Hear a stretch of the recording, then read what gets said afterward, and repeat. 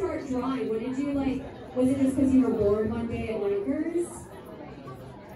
Well, no, I actually started to sketch during my trial, doing uh, the closing arguments, and that sketch ended up in New York Times. It was um, a sketch of my prosecutor, and it was a total, um, and it was a huge misunderstanding how it ended up there. It's a long story, but it kind of went from there, and then I sketched more when I was in Albion before I went to parole,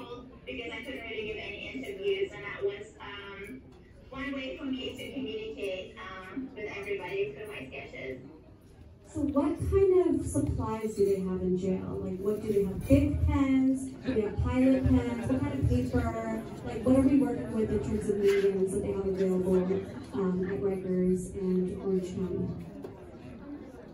They just have the worst of everything. So um, we only have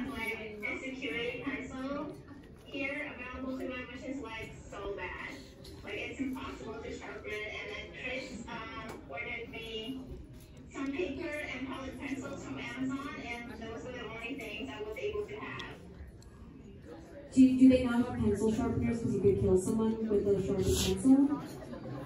Yeah, I cannot be trusted with a pencil sharpener.